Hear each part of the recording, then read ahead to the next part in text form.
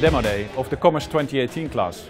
There will be 12 pitches of our startups that will be presenting themselves and how much progress they have made in our acceleration program.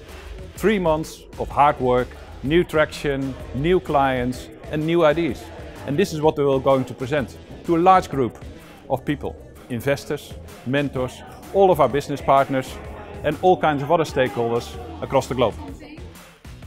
At Startupbootcamp, the last three months were like a roller coaster ride. Learned a lot, got a lot of good mentors, built our network. Just, I think the highlights and the value of it has been all of the um, corporate partners that we've been able to meet just passing through the office every day. The three months have been really intense. Step after step, I think improvements are very remarkable for us.